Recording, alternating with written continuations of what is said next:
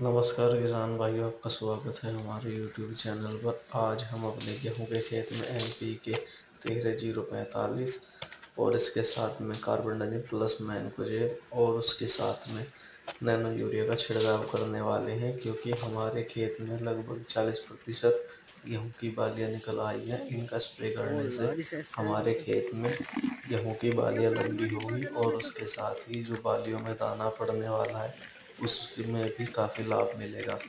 दोस्तों, जब आपकी गेहूँ में बालियाँ निकल जाती हैं तो उस पर आपको तेरह ज़ीरो पैंतालीस एन पी के या ज़ीरो ज़ीरो पचास के साथ में कार्बन डाइजिन प्लस मैनकोजेब और नैनो यूरिया मिलाकर छिड़काव करना चाहिए। इससे गेहूँ की फ़सल का उत्पादन बढ़ता है और साथ ही गेहूँ में येलो रस्ट आने का खतरा भी ख़त्म हो जाता है।